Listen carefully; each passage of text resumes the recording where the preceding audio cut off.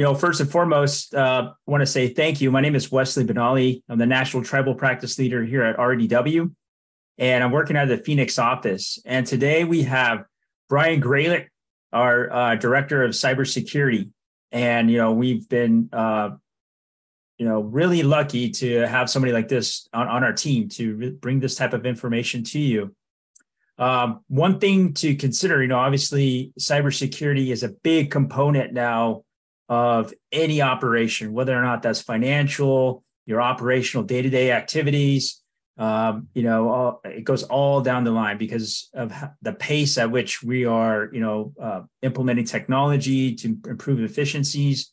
You know, this just increases the risks. But nonetheless, we want to make sure that you have a good understanding of all the tools necessary to address those risks, and more importantly, you know pick Brian's brain to to see what you have got going on. So, you know, once again, thank you so much, and thank you for you know joining us today. And I'm going to turn over to Brian. Thank you, Brian.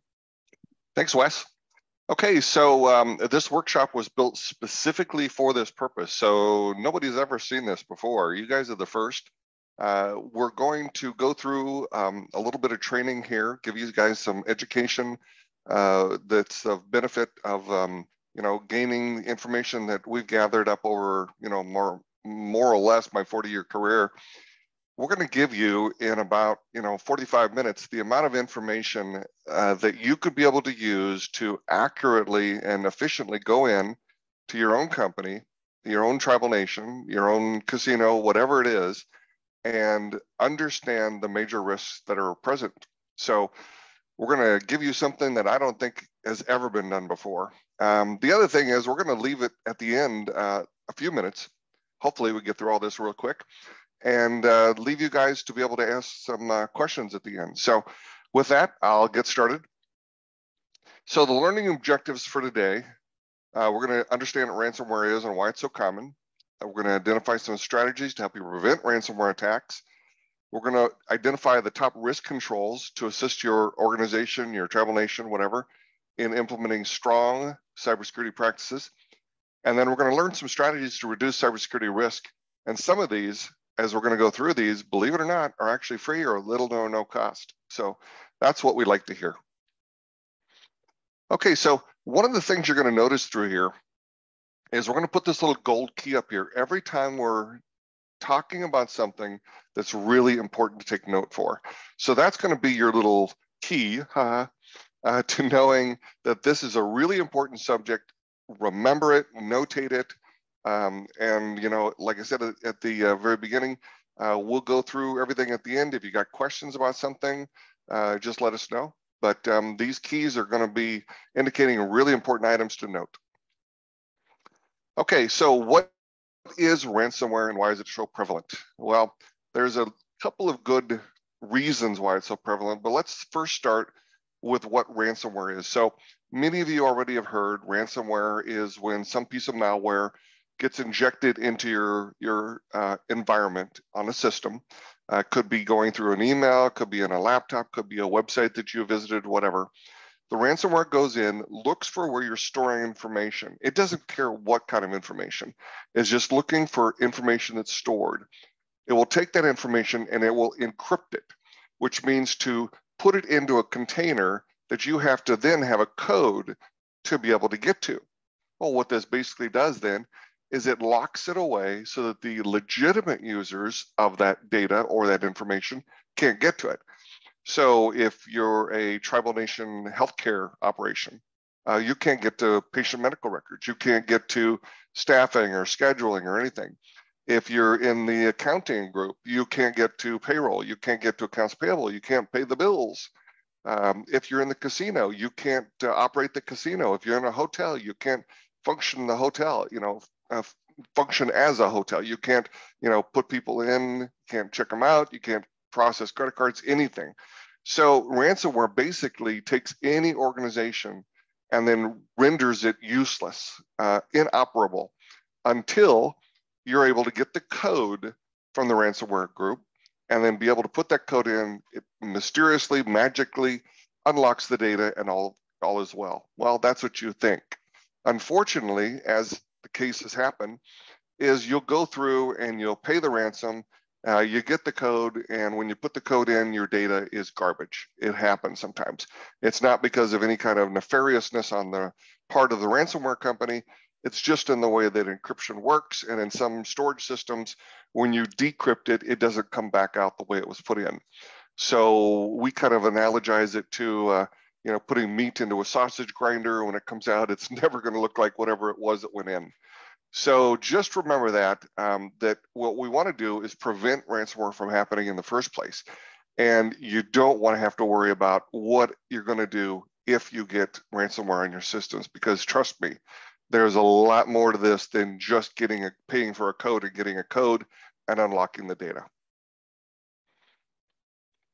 Okay, so why is it so prevalent? If you look at this chart, 2019, you're going to see that uh, the largest companies in the world as of uh, 2019, Walmart was the largest at a half a trillion dollars.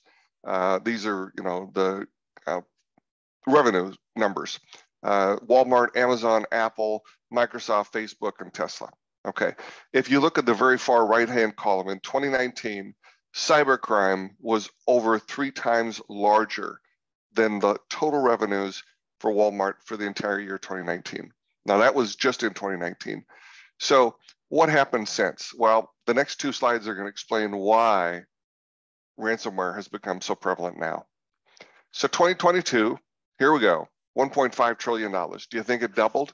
Yeah, it doubled. Tripled? No, we're still not done. It quadrupled. In three years, $6 trillion last year, cybercrime generated in revenue for these various countries and groups and organizations. Now, if you were part of this industry, if you were, you know, doing ransomware or had a ransomware operation, would you quit your job if you were making this kind of money? Mm, no.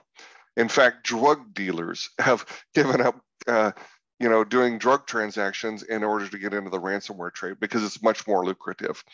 So this is the kind of money that's being made and if you look at the gross national products or revenues of countries, the United States being number one, China being number two, cybercrime would then be the third largest economy on planet Earth. It's that big. It outnumbers almost every other country's gross national product for the entire year of 2022. That's why this is going on. Do you see here the chart shows that the, the revenue numbers aren't just going up linearly, they're going the revenue numbers are going up uh, not just linearly, but uh, like a rocket.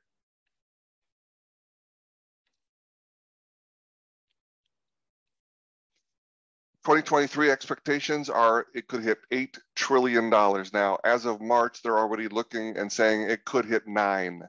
So again, we're looking at a tremendous amount of additional numbers and dollars coming out of our pockets going to these criminals. Here's some numbers on cyber attacks just for your information, just about how bad it's getting. Uh, 1,168 weekly attacks in the, in the fourth quarter 2022. 38% more cyber attacks per week on corporate networks in 2022. The US experienced a 57% increase in overall cyber attacks. But this one, the last one, is the one that's most important. 62% of the breaches were caused by the third party supplier or vendor. So if you remember the Target hack that occurred, we remember Target got breached, but it wasn't. It was actually their vendor, their HVAC, high, uh, heating, ventilation, air conditioning company that got breached. And then they used that connection in order to get into Target. That's just an example. But over half of all the breaches come from not the company, but their partner, their vendor, their supplier that got breached. And then they use that to get in. So if you heard about SolarWinds or Kaseya, that's exactly how these companies are getting breached. So if you look at the, the, the top two causes for breaches, use of stolen credentials, which happens anyway, everywhere, and then ransomware. So this is why ransomware has gotten to be so bad. If we look at the top six industries under attack and the number of dollars, healthcare is number one, has been number one for 12 years, and then tribal nations are number two. So unfortunately, if you're a tribal nation healthcare, you've got a really, really big target on your back. So I'm dealing with several different Tribal Nation healthcare companies right now. And this is one of the areas that we're trying to really lock down and help them. These are where the losses are coming from, but uh, that doesn't mean that that's the uh, total number of attacks. Uh, still, we've got you know all these groups: government, education, manufacturing, retail, financial services, and that doesn't mean just banks. Uh, all those companies are being attacked, uh, the, the most, anyways. So enough of the bad news. Let's then turn this around. How do we do something to protect ourselves? So let's get into that. Let's identify some strategies that we can use to prevent a ransomware attack from happening and what to do in the event that one occurs. So the first thing is, and this actually comes off of a, a real environment. A lot of people think that, while a cyber attack happens, I'm going to run back to the to the uh, router or the switch, and I'm just going to start pulling cables and isolate it. Well, it doesn't work that way. In fact, this is the worst thing to do.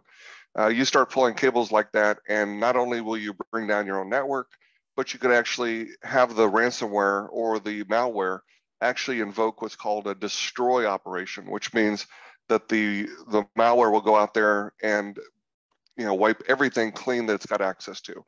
So, oh yeah, you you may have stopped the attack from propagating further, but you may have just uh, you know shot yourself in the foot. Okay, let's talk about security controls. There are three types of controls. These are safeguards or countermeasures that the industry uses in order to detect, counteract, or minimize the security risks. And those are technical, administrative, and physical. Now, this is an important part. Again, the key is up there uh, in understanding not just, you know, like if this was a quiz, oh, which what are the three types of security controls? The reason that this is important is to understand that security controls don't just come in one kind, one type. The technical ones are things like technology, uh, a, a, router, a firewall, an IDS, an IPS, you know, intrusion detection system, intrusion prevention system, something like that. Uh, administrative could be uh, the the processes that you do, the policies that govern how you're going to do things, um, the way that you um, use an encryption key or a code or database management or something. Physical would be things like, you know, the servers, the software, the things like that that are actually physical in nature, and how do we protect those? So um, these controls, as we're going through them, have, you know, in their background one of the types, but the type isn't the important part. The, the important part is what does the control do in order to protect the environment? We're going to talk about each one of those. So part two, this is where we talk about prevention. How do we stop this bad stuff from happening? So we're going to give you, and we're going to talk about the top 10 security controls, but we're not going to go through all of them. But just understand that if you put in these 10, just these 10 security controls, 90% of all ransomware could never happen. And the reason for that is because most of the ransomware that occurs today is occurring through one of these main three, four, five uh, different security controls. So if you have these controls in place, then the ransomware could never get in, could never be able to do the destruction or the, uh, the damage that it does. So let's start with the first one. Control number one is called inventory. And in this one, it's very simple. All you want to be able to do is make sure that you know where 100% of, oops, 100% of all your computing hardware is located. Uh, is it on the network? When it's on the network? And the key thing is you can't um, misplace or not know about any one device. And I'll give you an example of the reason why. Is you want to know that you've got 83, for example, machines on your network, so that if an 84th one would come on, A, they shouldn't be able allowed to be, you know, just plugged into your network and automatically come onto your network. But B, if something does come onto your network, why did it get on there? What's it doing on your network? Who owns it? And is it a, is it a, an unauthorized user or is it something malicious going on? So that's why you want to know about 100%, not 99.9, uh, just one machine, not knowing about that one machine uh, has brought down many, many companies. So again, the reason the 100% is there, you got to know everyone that's on your network. And the most important part is check for any unauthorized devices that get uh, would maybe be able to be added to your network or get onto your network. And if you can be alerted to those immediately upon getting, you know, them getting access to the network, that's the best one. We call it a best practice. Control number two is approved software. So approved software means having an inventory of all the software that you're going to allow your users to be able to put on their machines. So you give them a list of, let's say, you know, 20 different kinds of software, Microsoft Office, you know, Word, Excel, PowerPoint, those kind of things. And then you list all of the software that they can install, and they can't install anything that's not on that list. Now, the reason this is so important is one, you want to make sure that they're not installing software that, that could be malicious or that they have no idea that it could be bad software. An example is um, if you download a, a video, a lot of times they'll say, sorry, I can't play the video because I don't have a codec, which means a player that recognizes this kind of a uh, video. If you go out on the internet and you download the codec to play that movie, chances are over 50%, one in two, that that codec is going to have uh, malicious software built into it, which means that when you install that software, now your machine and your company, your tribal nation, has been corrupted, and maybe you got malware, or maybe you just everybody goes down and you lose all connections. So that's important. But the other part is to make sure that the software is supported, that it's getting the kind of vulnerability attachments to it, and, and that the company is still supporting it and making sure that any known vulnerabilities have been wiped out and making sure that the product or the software is still being um, handled and cared for, maintenance. Then ensure that the processes are in place to make sure that unauthorized software can't be purchased, which is a big one. Uh, so if you're, you know, if people can go out and, you know, just buy any software they want and they've got admin rights on their local laptop to be able to install it, well, then you've lost control. Uh, being able to download software, you can block that from about any kind of a, a browser proxy or any kind of a internet security system. Uh, but the key thing here is making sure unauthorized software doesn't get installed on any machine. And then the last one is perform a monthly the only authorized software has been installed. Now, this is only for those companies that don't have the ability to use what's called a whitelist, which means here's a list of the 20 kinds of software you can install. We're going to allow you to, and then everything else is a blacklist. Now, some companies will say, here's a whitelist of the things you can install, but they don't have a blacklist because nothing off of that list, you know, can be installed. So there's several different ways of operating in this way, but the key thing is keep this unauthorized software from being installed on your systems. Control number three is data protection. So data protection means how do I um, know about what data I should be protecting? How do I make sure that it's stored and it's stored properly? How do I make sure it's backed up and that I can restore from that backup, which is a key part? And then how do I get rid of that data? How do I know when to get rid of that data? And then what's the proper way to get rid of that data? So all those are included in that. Uh, a lot of people ask, well, why is it important to get rid of data? You know, why should you have data retention limits? The key reason is, is if you're storing data for, let's say 10 or 15 years, that's just more information that you've put out there that could be stolen and, you know, value to somebody else. Where if at least if you're getting rid of that data off your network, storing it, backing up, getting it out of the environment, then at least that's information you don't have to worry about A, getting stolen, or B, having to restore after you have something hit your company. So um, the last one on that one is if your company should ever go under a legal attack, which means you know uh, some lawsuit is filed against you or whatever, having a limited amount of data to have to go through will save not only time but also a lot of expense. Um, and a lot of discoveries in legal side, they will say you have to prove all of the data that you have and that you've gone through it and looked for this kind of information. So if you have, you know, 10 terabytes versus one terabyte of information, uh, it's going to take your company a lot less time uh, in order to go through it if you're storing just the data that's necessary. Uh, again, encrypt the data yourself. Don't wait for a ransomware to hit and uh, then they encrypt the data to where you can get to it. If you encrypt the data, then nobody can see it. And even if they encrypt your encrypted data, they can't use it now. They could lock it up and they could keep you from getting to it. But at least they couldn't do the next step in ransomware is to threaten to release that information out if you don't pay the ransom. So this is an important part. Encrypt the data, That way, if somebody does break into your network, at least they're not going to get to that information and be able to easily extract it or see what's going on. Uh, if you've seen some of the latest um, hacks that have occurred, you know, like with NASA, the guys get in and they're able to look at all of these uh, different files and information that you know nobody should have ever looked at. Uh, designs on the latest aircraft that's available, you know, the F-35 and such. Those are the kind of things that you want to encrypt the data and make sure it never gets out.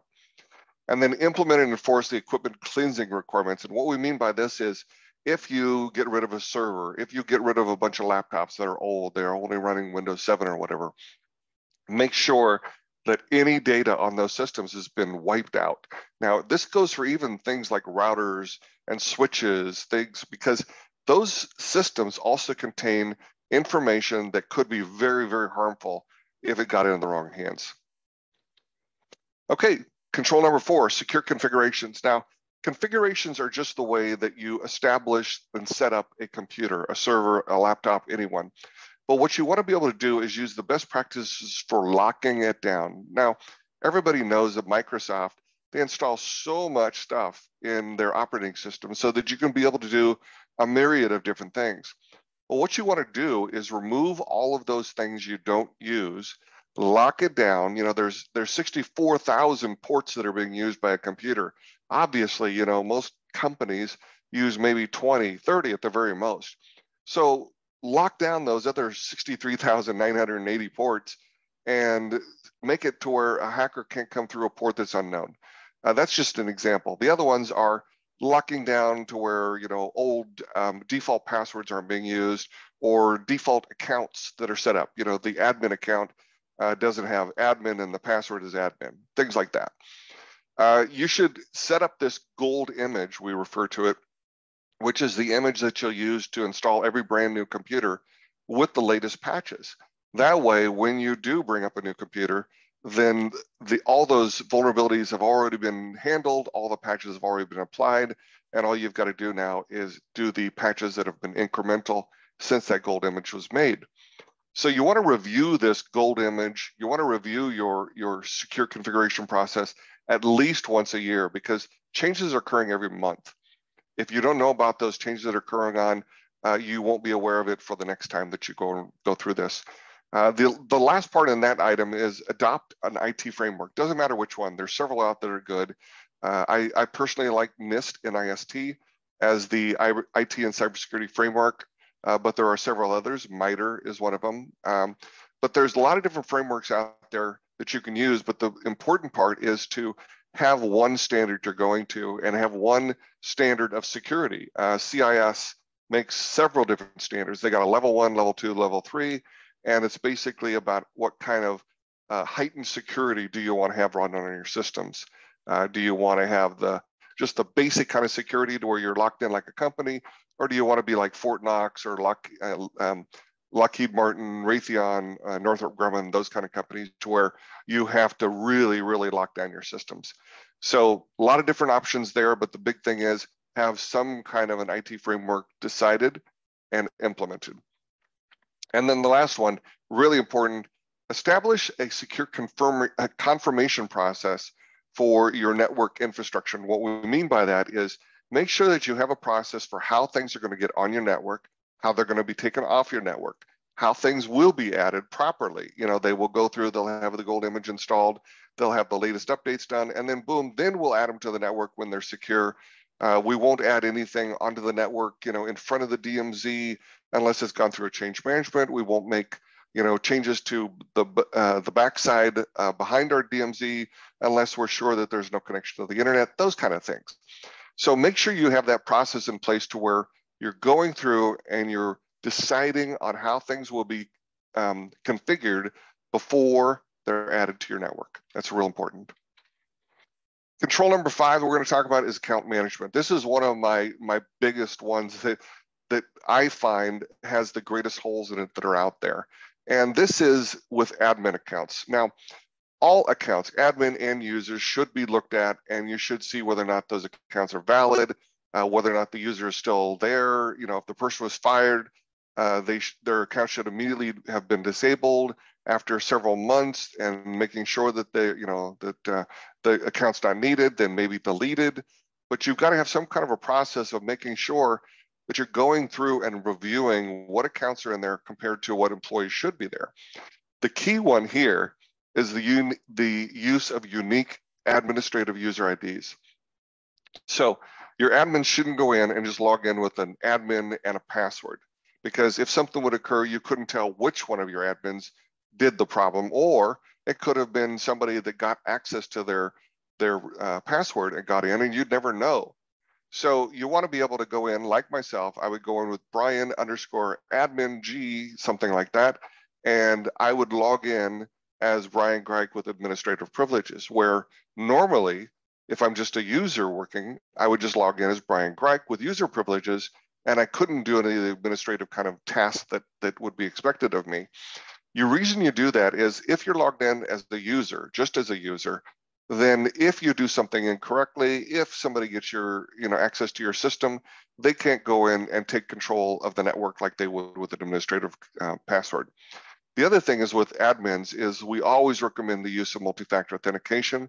We're going to talk about that then a little bit then uh, later too. With passwords, I can't stress it enough. Minimum length and complexity. I just got done reviewing uh, a company, a client uh, two weeks ago, and they were still at eight characters. Now we were able to see that um, this company with their passwords, about one third of their um, user IDs and passwords could be broken within two minutes with the, the level of passwords that they were keeping. Um, not just the fact that they were just eight characters, but that they were simple passwords, something like password one, two, uh, one, two, three, four, five, ABC, you know, ABC, one, two, three, four, five, you know, those are all passwords that would have met their standards, but that they were easy to guess and that they were easy to break. Uh, when you can break one third of a company's entire list of user ID and passwords in two minutes, you've got some serious issues. Password updates. Now, we used to always say passwords had to be updated every 90 days or even every 30 days in the environments I worked in. But now we're learning that if you make a good password, that password should be able to stay for a good 180 days. And the reason being is if you're changing the passwords all the time, typically people aren't remembering them very well and you get more calls to the help desk and such. But if you've got a password manager and you're using that in order to change the passwords, not only can you make them very long, as in, um, you know, a passphrase, which is much, much easier to remember, and using a password manager logs you in automatically to, you know, with really long credentials. But with doing that, it makes it much, much more secure than changing the password and having a short or hard to remember password. The last one we're going to have here is disabled dormant accounts. Uh, not only should you be going through on a monthly basis and sending out an email or something to verify that all of the people under every manager should be having those privileges that they've got, or that they should even be employed or have an account, but also that you're going through and making sure that they have the correct privileges. Uh, if an account is deemed to have been disabled or uh, dormant, as we call it, then either disable or delete those dormant accounts. An example that, that has been brought up a lot of times to me is if a woman goes off uh, or a, you know her husband for paternity leave. You know, if a woman goes off for maternity leave, husband goes off for paternity leave. Now, those are accounts that that should be disabled until that person comes back into the company and then re-enabled. So you don't want to delete the account, but you want to disable it and then wait. Well, if the person doesn't come back, there were complications, uh, they decided after the baby was born they didn't want to work anymore, whatever, then you would go through and delete the account. But disabling allows you to make sure the account can't get access during that period of time that it shouldn't, and then re-enable it and everything goes back to the way it was. So very important situations in account management.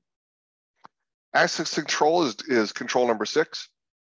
And this is the process. And I, I stress that greatly. Again, back to the technical controls that we talked about, the three types. Um, you've got process controls uh, that are just as important as having technology. And in this one, it's a matter of how do we assign, revoke, and manage our access to the network, as well as how do we allow for associated privileges for those admins. So what we want to do is we want to utilize the concept of what's called least privilege, which means give the person the minimum rights they need, they need to be able to do their job. So if it was a um, just a user, they shouldn't be able to access the database system. Uh, they shouldn't be able to get into the network systems, the, the router or the switch and whatever. Uh, if it's a database manager, well, okay, they need user level and they need to be able to access the database, but maybe you don't give them access to the cryptology system. You don't give them access to the network devices and things like that. So you want to keep them with the minimum level of access that they need to do to be able to do their job properly. And then this part we talked about a few minutes ago is implementing what we call multi-factor authentication, MFA, or two-factor, 2FA authentication.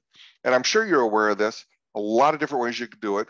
But the key one is if you log into a system with a user ID and a password, then what you do is once I've logged in Brian Greig with my password, it will send a prompt to my phone. And on my phone, I will say, yes, that's me logging in, you know, when I get the prompt. Or it'll give me a code and I enter that code in the system. And what that does is that's the second factor. So my user ID and password is my first factor to authenticate myself.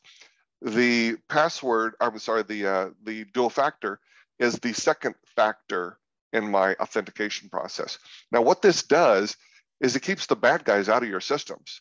It will literally stop 99% of the the hacks that occur today because the person can't even if they know my user id and password they still can't log in as brian greig because they don't have that second factor. They can't get to my phone. They can't get to how i'm actually going into it. So we usually recommend two-factor authentication on anything that has internet-facing applications. So if you're logging in via the internet anytime you're getting in to remotely access your network. So if i'm working from home and i want to get into the redw redw network then when I get in via VPN, I have to then use that two factor to get in remotely. And the last one is every administrator should be required to have two factor authentication. So if you've got administrative privileges, no matter what you do, where you are, when you log in, you should be required to use two factor authentication. Okay, control number seven, continuous vulnerability management. What this means then is I'm going to establish a program that will allow me to identify, evaluate the vulnerabilities, remediate them with patches, and report on where I'm at with that. Now, the reason reporting is so important is because, as we know, there's thousands, maybe hundreds of thousands of patches that come out every month. Not all of them are necessary in your environment, but sometimes you can't get to them all within a two or three day period. Maybe it takes you a week, maybe it takes you a month. You want to know which patches are most important you want to know which ones you need to be able to put in your systems, and you want to be able to then know which systems haven't got patched and which ones should be in line to be patched next.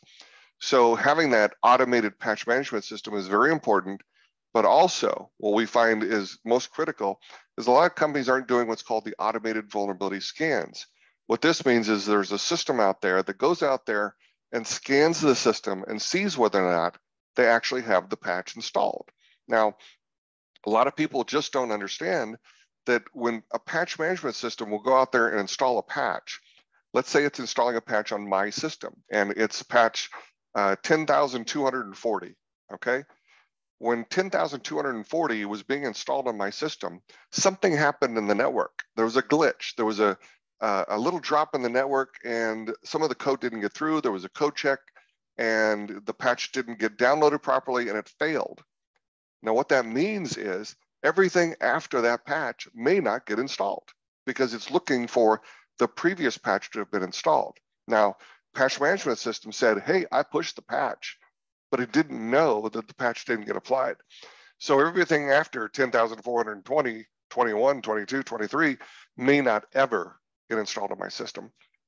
So these automated vulnerability scans go out there, look, and they query the system and make sure that those patches that instead got installed actually got installed.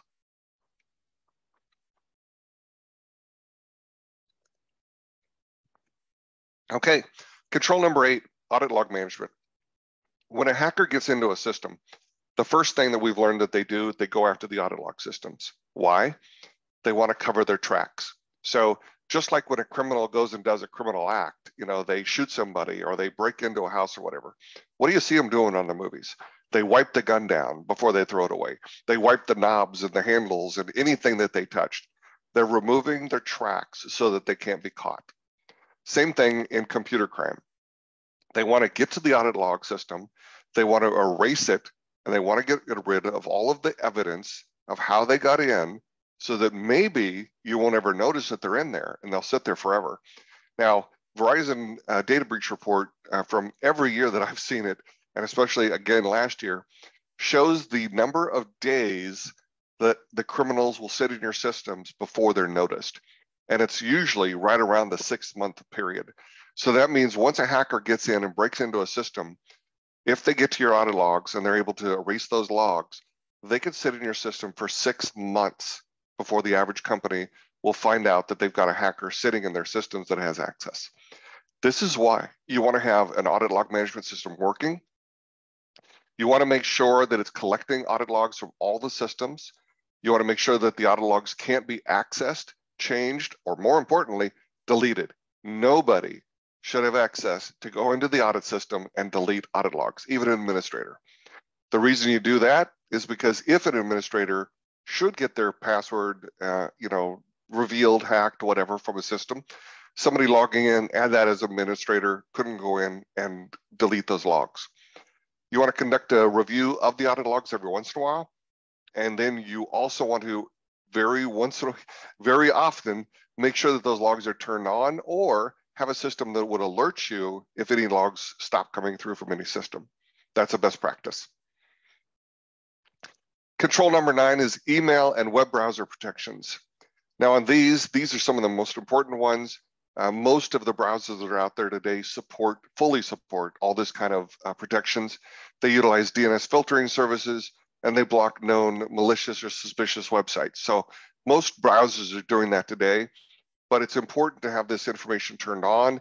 It's important to have these functions enabled, especially in a corporate environment, and especially if your people work off network, you want to make sure that when they connect to a Starbucks network or the local cafe or whatever, that these kind of protections are enabled when they're not on the network so that their systems can't be hacked into and then uh, come in back into the company when they when they come back in.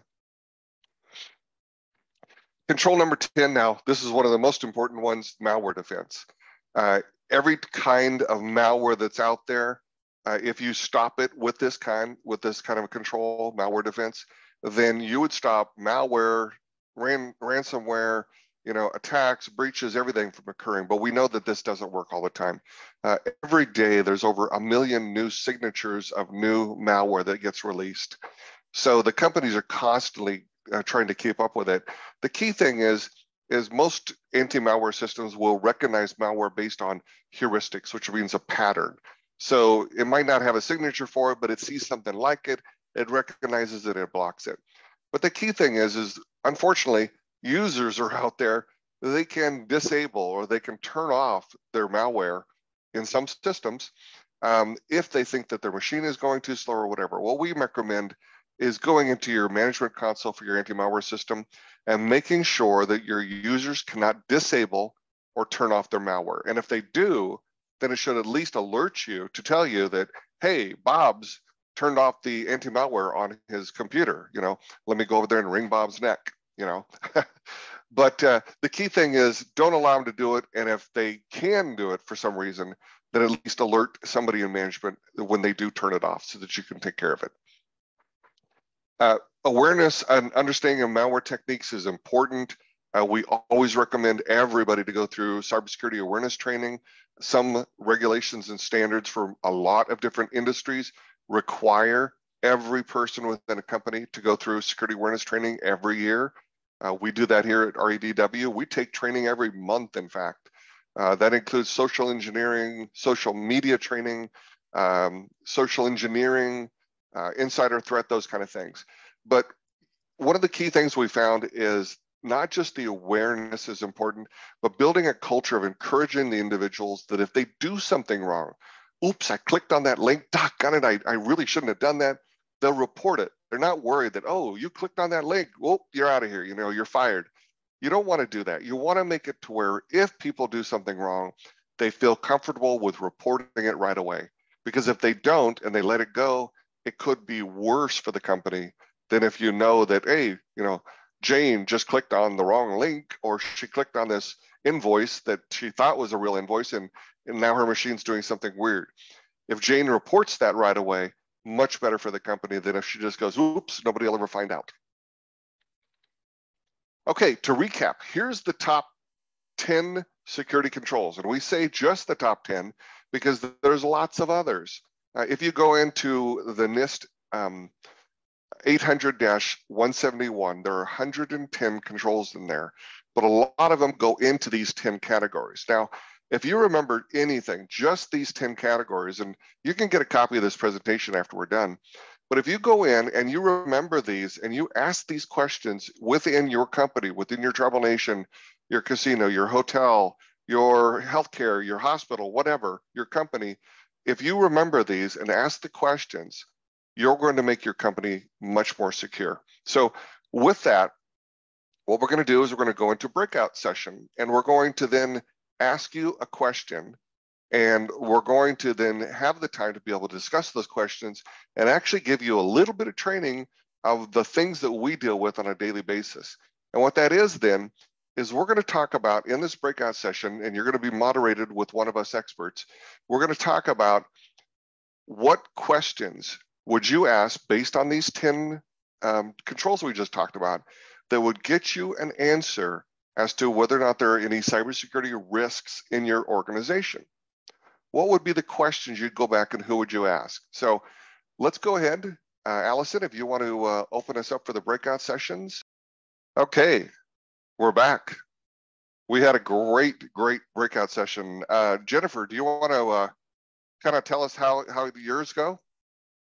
Uh, we talked a lot about access, access controls is kind of the direction we segued, um, especially with um, MIP database and being in the cloud. What's the access controls in place with that? If there's multi-factor authentication, especially with it being a cloud software, you don't have a whole lot of control of it, you know, being on premise. Um, and then also just talking about the gaps that I see um, that I've seen just through audits with the whole formal process of access control who's authorizing the access? Is it centralized from HR going to one individual or is it a hodgepodge of managers just communicating that this person needs access, you know, having that formal process in place so that, you know, we we're not having these gaps, we're making sure that everybody's getting the access that they should have.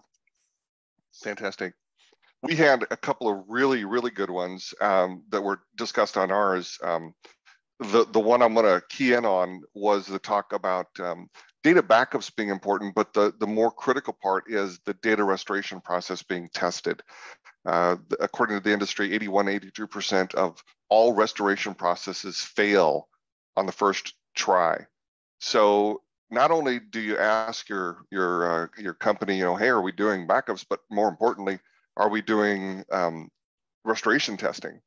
Uh, and the other one was um, we see this all the time out there, but I, I can't believe that somebody actually noticed it. Uh, was to go to your IT manager and say, you know, hey, I hear that um, some people on our laptops don't have anti-malware installed. You know, do we ever do a test? Do we ever check? Do we know that everybody has, you know, anti-malware installed? You know, McAfee, Symantec, you know, Norton, whatever. And what we find on the audit side, anyways, is when we go in and look at those laptops, we'll find one or two or three or five that don't. And that means there's a break in the process somewhere. So mm-hmm. I was really impressed the fact that we had a user out there, a, a, person that actually said, Hey, this is one of the questions I'd go in and ask. And and they guessed it right about going to the IT manager. You wouldn't go to the CIO. Uh, he'd probably just say, I don't know. I, I thought we had them all. You know, you go to the IT manager who could actually say, yeah, let me check on that. Um, I thought we had everybody, you know, covered, but let me check. And sure enough, you'll find out that, you know, hey, we missed somebody. Well, then you got to figure out why. That's the most important part. But that's the whole thing. These questions lead to answers and figuring out why something has failed. That's the most important part. So thank you. Thank you to everybody that participated in the breakout sessions. It was exactly what we hoped for. So thank you for the participation. Let's uh, continue on in here. I'm going to give you, and again, we got a nice little gold uh, key here. These are my five prevention tips. Now, Brian, you need to reshare yes. your screen. Oh, I'm sorry. It unshared. Thank you. So we learned something new today. We learned that when we go from a breakout session, we uh, the system automatically mutes us, and we learned that uh, when we drop sessions, that we uh, we got to reshare. So two things I've learned today. So thank you. Okay, so hopefully everybody sees that top five prevention tips. This is my little bonus for all of you people joining here today. Now, I've investigated in my career over 350 security events. That means a malware incident, uh, a laptop being stolen, a you know system not functioning, a breach in a system, you know somebody got hacked into, whatever. What I've come up with is these top five tips, and this is for those people that are that are sitting here and listening today. These are the top five. If you did these five, most of the breaches and hacks would never ever be able to occur. And the reason for that is because these are the top ways that people are getting in is the lack of these controls and systems. So we're going to start out multi-factor authentication. I don't think I have to say any more about that. Uh, all of the systems that get breached usually are done through an administrative password or a systems password. Uh, if you had multi-factor authentication, two-factor authentication on your system, they could never get into the system in the first place. So that one's an obvious. Second one is VPNs. In this day and age, I'm amazed at how many people still do not use VPNs for remote connections. All the information traveling from your laptop across the wide open internet to your company is going through what's called a clear channel. That means I could plug in anywhere along that route and be able to watch everything you're doing. So if you think that the information sitting when you're sitting in your home is secured and protected, you're wrong. I'll give you an example. If you're on a cable network, everybody that's on that network until it gets to the actual connection can view, it's called sniffing, the data that's going on that network. So I have a, the ability, if I was on a cable network, to watch everybody, all their email, all the things that they're doing, unless you're connected on a browser that has a little lock on it, which means HTTPS. That means that the information is being encrypted and it, and it can't be uh, reached. But for most other systems, you'd be able to see it. So VPN is very, very important. Vulnerability and patch management, we talked about that one. Most breaches originate in the exploitation of a known vulnerability.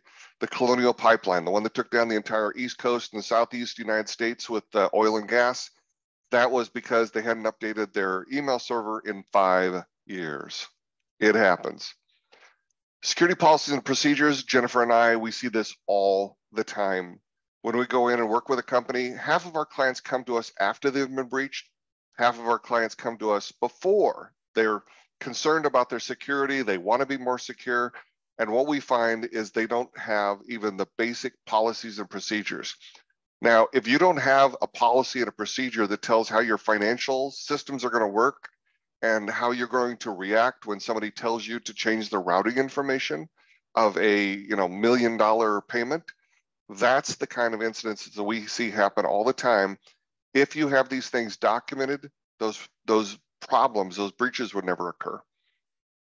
Backup and recovery, I think we beat this dead horse. Um, it's not just about backups. Everybody typically is doing backups. The most important part is recovery testing. So if you do that, you can recover from a ransomware. You can. If you're not, doesn't matter if you get the code, you may not be any good with restoring the data. So there's my top five. Okay, here's some references. Uh, again, this will be in the, the handout uh, the, with the presentation.